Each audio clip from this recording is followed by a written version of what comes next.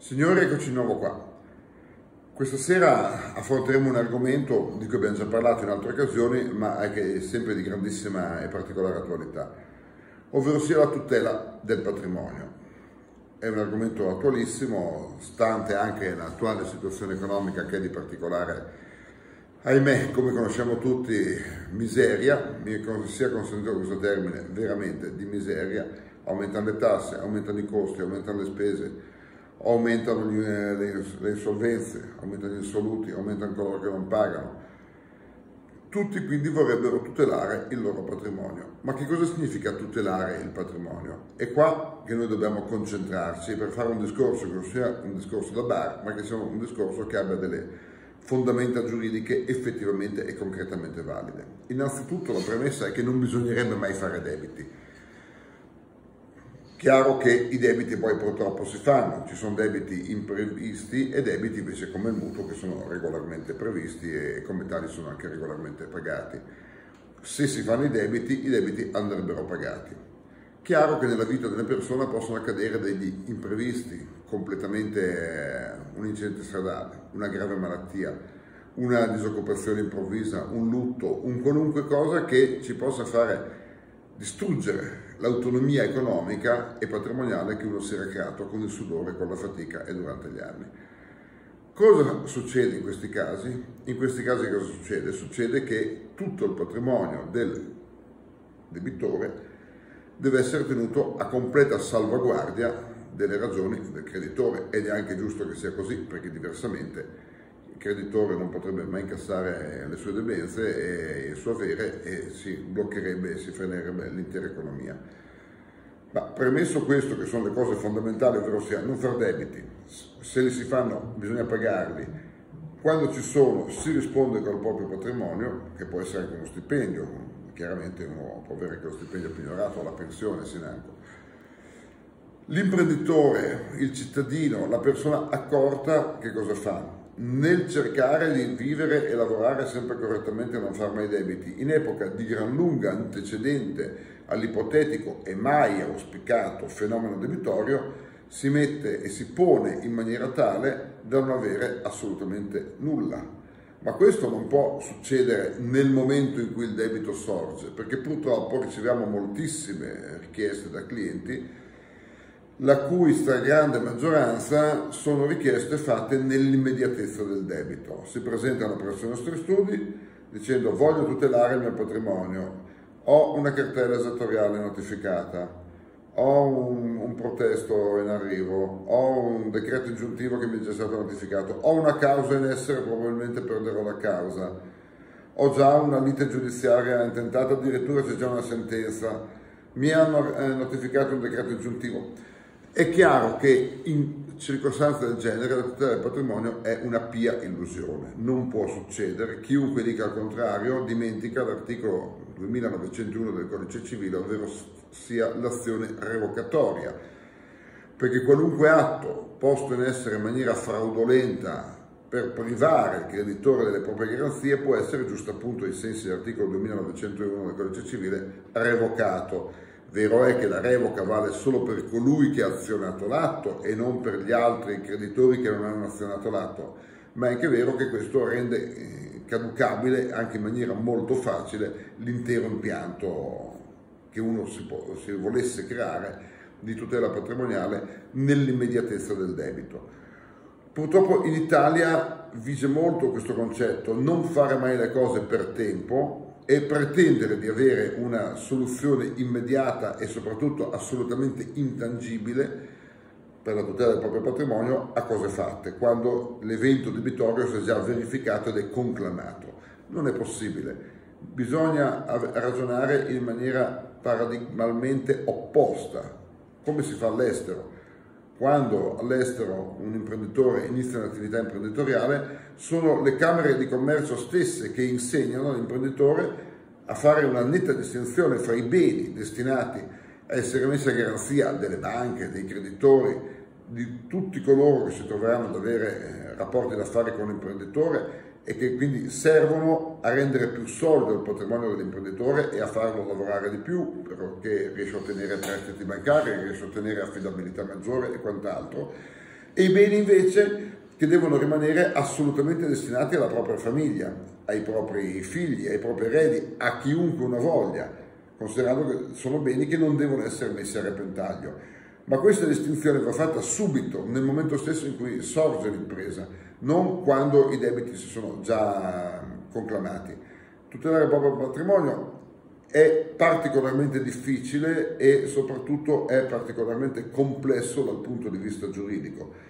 perché tolti gli strumenti patrimoniali, di tutela patrimoniale, perdono, dei quali comunemente si parla, il fondo patrimoniale, ad esempio, è stato smontato in maniera pressoché totale dalla giurisprudenza, basta leggersi le sentenze di Cassazione.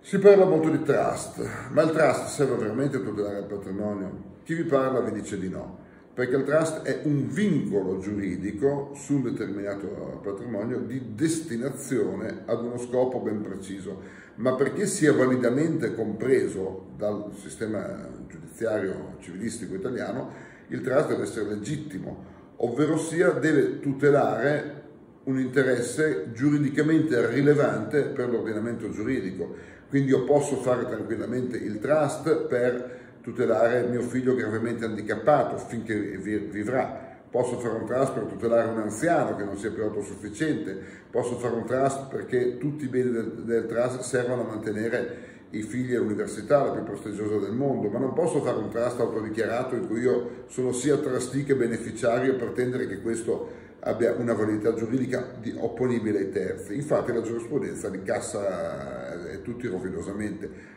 Fatti in quel modo lì non servono. Il trust serve per quello per cui è nato, ovvero sia per tutelare è chiaro un patrimonio separato da quello del, del, del proprietario con un vincolo di destinazione per tutelare delle ragioni giuridiche di una persona che abbia degli effettivi bisogni, non di certo per tutelare un patrimonio. Ecco che allora ci sono molti altri scenari. La fondazione, ad esempio, è uno strumento di tutela patrimoniale che può essere validamente e positivamente effettuato, tenendo presente che il patrimonio della fondazione però diventa tutt'altro da quello del fondatore e il fondatore non ne, eh, ne, ne perde concretamente e realmente la proprietà. E questo è un grande scoglio che quasi tutti quelli che desiderano tutelare un patrimonio e che non sono abituati a ragionare in maniera giuridicamente sofisticata o corretta temono, ovvero sia il non vedere più il loro nome nel patrimonio immobiliare che hanno iscritto all'Agenzia del Territorio. E d'altronde, se il nome è iscritto all'Agenzia del Territorio, io posso mettere tutti i vincoli del mondo che hanno comunque una durata, un termine, ma il bene è sempre mio, è chiaro che, un creditore me lo potrà prendere, questo su questo non c'è nessun tipo di dubbio, bisogna quindi affidarsi a professionisti e a strumenti giuridici che siano in grado di fare in modo che questo bene non sia effettivamente più nella proprietà e nella disponibilità concreta di colui che vuole tutelare il suo patrimonio e che entri nella disponibilità di terze persone, coloro che devono essere beneficate e aiutate eh, o comunque quelle a cui si vuole lasciare, solitamente sono i familiari, i figli, la cosa più importante che abbiamo.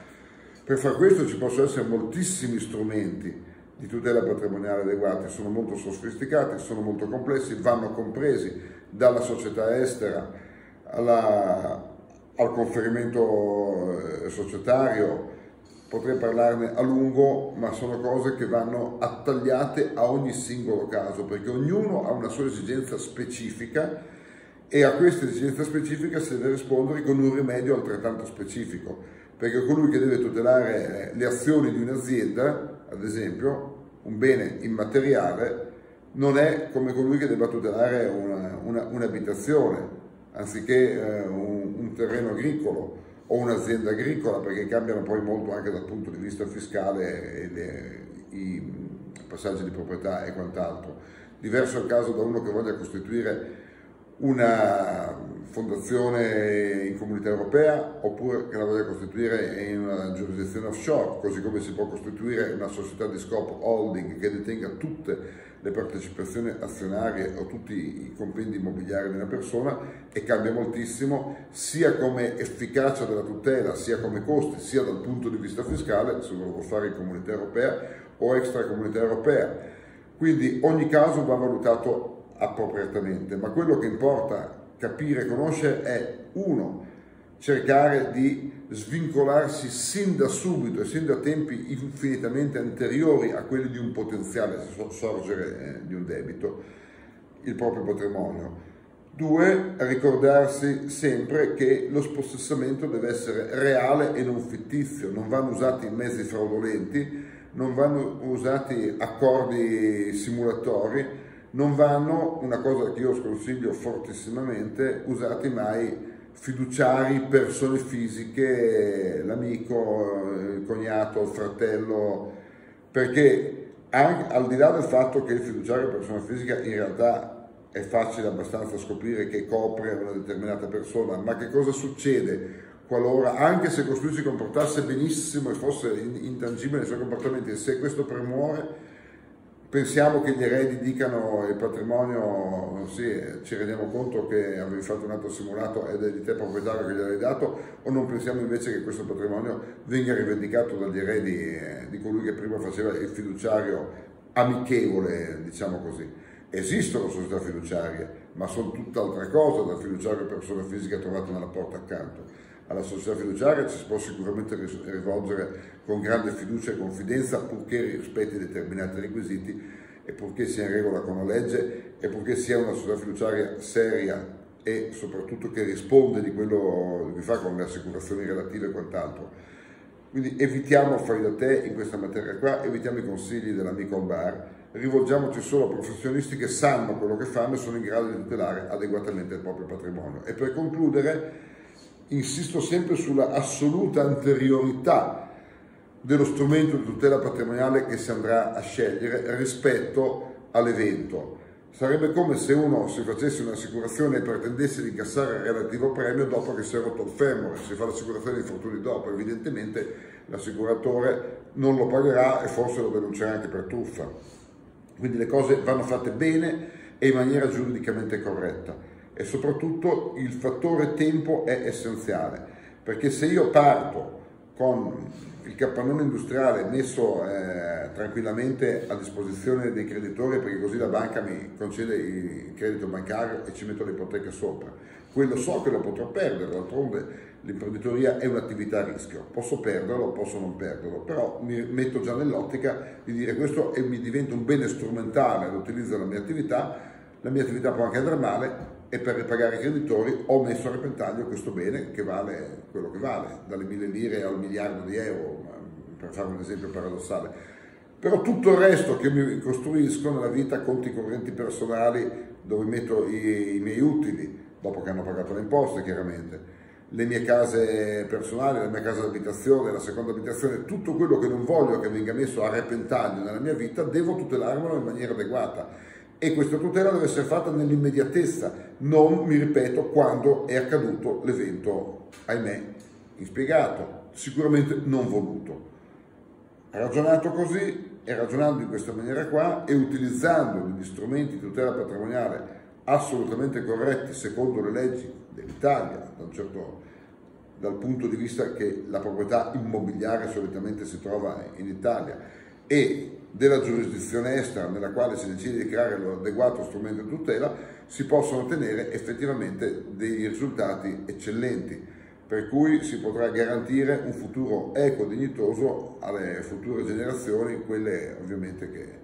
che vogliamo salvaguardare, o comunque si potrà tenere intatto il bene e il patrimonio. Sono strumenti sofisticati, molto difficili da comprendere, anche molto costosi, ma servono effettivamente allo scopo a cui sono destinati, tutelare un patrimonio e renderlo intangibile da futuri accadimenti che si spera non debbano mai avvenire, ma qualora avvengano è bene farsi trovare preparati. Per approfondimenti e per specifiche richieste di tutela patrimoniale chiaramente poi ho fatto un discorso a parte per ogni strumento che, mi ripeto, varia enormemente a seconda del tipo di tutela di cui una persona ha bisogno o pensa di avere bisogno, ma il pensa di avere bisogno non va bene è il bisogno effettivo e reale, quello lo può valutare solo il professionista, l'avvocato, il commercialista, il mio studio sicuramente, ma non solo il mio studio, ci sono ottimi studi che trattano queste cose qua in giro per il mondo e anche in Italia. Quindi rivolgersi solo a dei professionisti ed evitare soprattutto in maniera assolutamente come la, un delitto il, il fai da te giuridico, vi porta solo a dei grossi problemi. Alla prossima! e salute a tutti.